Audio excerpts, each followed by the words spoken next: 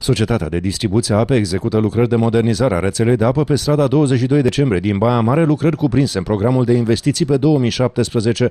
Valoarea acestora se ridică la suma de 900.000 de lei și sunt finanțate din sursele proprii ale societății. Se înlocuiesc rețeaua de azbociment cu una de polietilenă din sensul giratoriu de la piața Izvoare până în piața Revoluției, precum și branșamentele la toți utilizatorii. În timpul derulării lucrărilor, traficul rutier va fi limitat sau, după caz, închis pe anumite segmente când se vor realiza branșamentele la consumator de pe partea dreaptă a străzii, de pe sensul spre piața Izvoarele. Perioadele în care se va întrerupe furnizarea serviciului de alimentare cu apă vor fi anunțate în prealabil pe site-ul societății vitalmm.ro, precum și prin fluturaj distribuiți în cutiile poștale ale utilizatorilor afectați.